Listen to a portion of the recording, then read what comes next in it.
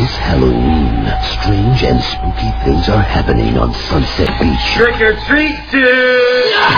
Necklaces turn into snakes, and Daddy Asleep. Maybe he's dead. Daddy, he say something. turn into mummies.